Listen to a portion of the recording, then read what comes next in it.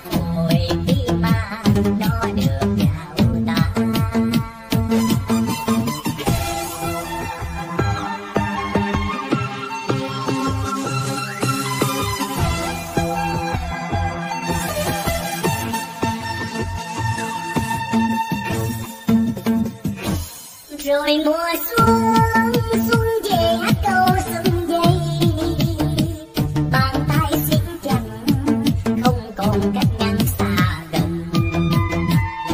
Về thơ vùng vui cầm